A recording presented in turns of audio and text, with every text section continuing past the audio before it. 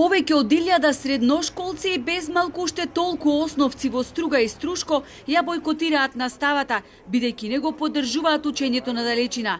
Тие и порачуваат на министерката Царовска дека доколку не ги врати во училишните клупи, револтот повторно ќе го прелеат на улица, овој пат со блокирање на сообраќајници и далеку помасовен протест од оној во четвртокот, кога стартуваше новата учебна година. Наставата ја бойкотираат учениците кои следат настава на албански јазик во двојазичното средно стручно училиште Нико Нестор со 67 паралелки и гимназијата Ибраим Темо, каде во 41 паралелка учат на три јазици. Директорите на двете училишта тврдат дека наставниците од првиот ден на своите работни места подготвени чекале учениците да се уклучат на националната платформа за онлайн учење, но на протестите имаше и професори кои ги снимаат децата следејќи ги се до општинската зграда каде учениците говорија. Еден од присутните професори не ни дозволи да ги анкетираме учениците, ни се обрати со зборовите. Зошто ги терате децата да зборуваат на македонски? Научете вие албански јазик. Ова ги подгрева со мнежите, дали однапред подготвените говори, учениците ги пишувале сами.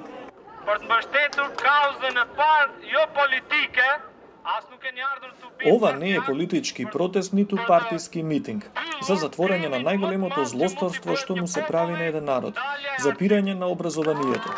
Јас ке зборувам за еден мој сон, што треба сите ние и нашите родители да го сонуваме. Да имаме еднакви услови за еден ден ова место, Струга, Кичево, Деба, цела Македонија, цел Балкан, да биде како Европа.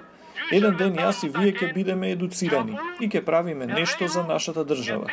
Учителите сега се затворени, не смеат да излезат бидејќи трпат закани, а јас сакам да се бориме за една подобра струга. Нашите политичари изгледа не сакаат да сме образовани, но ние сме надеж на иднината. Директорката на Ибраим Темо, Бесиме Јунузи, не сакаше да ги коментира говорите на учениците. Таа кажа дека уште на почетокот на септември испратиле допис до ресорното министерство со кој барат албанските, турските паралелки и паралелките од прва година на македонски јазик да следат настава со физичко присуство, но одговор се уште не добиле.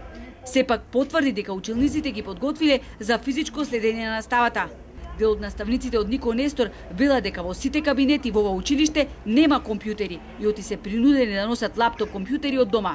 Дополнуваат дека има услови за физичко следење на ставата кај оние насоки каде има по десетина ученици, како угостителската, текстилната, хемиско-технолошката, градежно-геодетската, но за такво нешто, откако што велат за нив непознати причини, немаат дозвола од Министерството за образование. Во двете средни училишта, непосредно пред почетокот на учебната година, е поставен интернет.